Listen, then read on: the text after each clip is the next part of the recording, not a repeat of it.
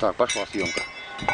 Здравствуйте. Мы хотели обратиться со словами благодарности к нашим друзьям из НОДА и простым людям из России, которые помогали и продолжают помогать нам со снаряжением. Спасибо вам огромное за то, что вы рав- неравнодушны и поддерживаете нас. Для нас это очень важно.